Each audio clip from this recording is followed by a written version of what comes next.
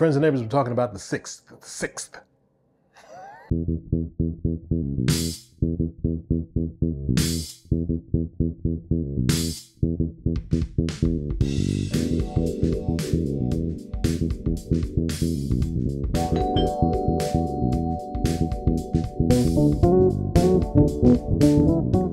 Hello, friends and neighbors. Welcome back to the Brown'stone. My name is Rich Brown. Uh, a while back, I did a video all about my favorite interval in the world, sixths. And today, I want to continue on with something so beautiful. It's such a, a gorgeous pattern and a great exercise. And you can really turn these exercises, any sequential pattern, any sequential exercise, into music people will argue that these exercises and playing scales and all that stuff is not music. Listen, if you don't know how to turn those scales into music, don't blame the scale. All right?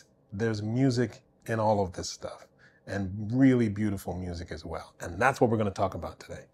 So, if you don't know what I'm talking about, I'm going to go down to the C major scale, starting on the eighth fret of the E string and playing through on all four strings until I get to G on the E string. Sorry, G on the G string. Right? So I'm going all the way up to like the octave of the fifth. Now, check this out. Earlier on in a very old video, I talked about this idea of taking the interval of sixths through the major scale. And when I do that, it's a very easy way to think about it. It's like any sequential pattern that you have, you can go by the degrees of the scale, in other words, the numbers. And if I think about sixths, then what I can do, that word is always going to mess me up. Always. Sixths. What I can do is I can start with the root, the sixth, that's one sixth.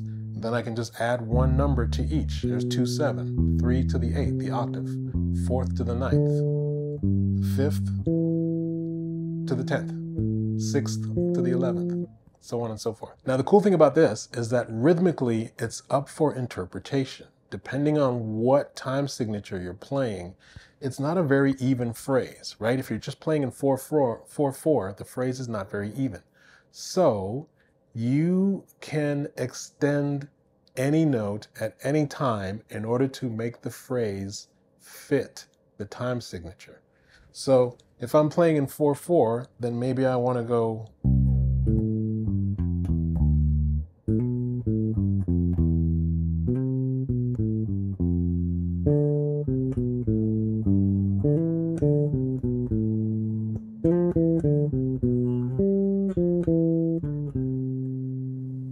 So the pattern is in my head. I know what the notes, I know what notes I'm going for the rhythm is up for interpretation. So once you have that down, then you can do the reverse of the pattern and come down the scale with the same uh, idea.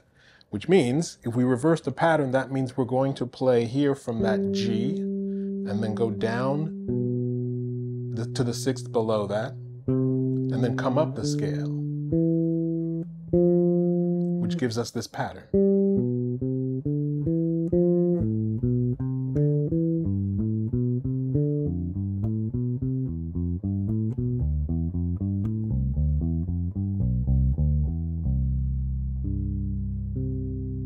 Make sense? I hope that makes sense. The simplest way to think about it is to add or subtract one from each pair of notes, right? Which is why I always suggest you write your exercises down so that you know exactly what's going on. You can either write them down in notation, write them down in tab, or just write down the degrees of the scale that you're working with with each of these exercises.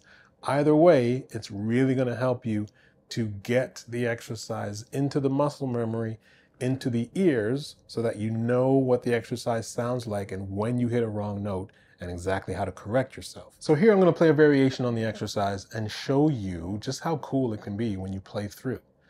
Um, I'm essentially going to be playing the exercise as is, and then every once in a while I might play a note above or below wherever I'm starting from just to make things a little bit more interesting melodically. All right? It's to sound like this. One, two, three, four.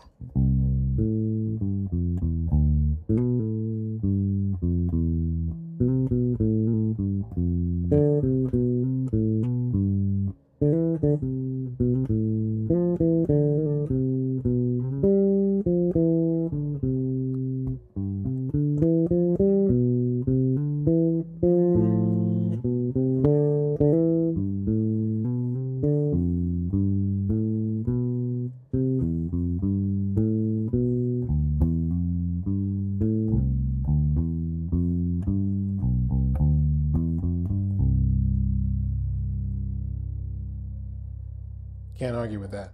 So I'm just going to leave it there. Just a very short exercise to help you to really turn these scales and these scale patterns, these sequential exercises into music. Don't blame the scale. Huh? The music is in there, no matter how you look at it. I'm going to leave it at that. Short and sweet, nice, simple exercise to keep you going and to challenge you a little bit, which is what I'm all about here on the Brown'stone. I want to thank you for joining me. If you like this lesson, you know what to do. All the information is in the description box below. Like, share, subscribe, donate, join the channel. All that stuff is down below. As always, I thank you so much for visiting me here in the Brown'stone. Have fun with this exercise, and I will see you in the next video. Peace.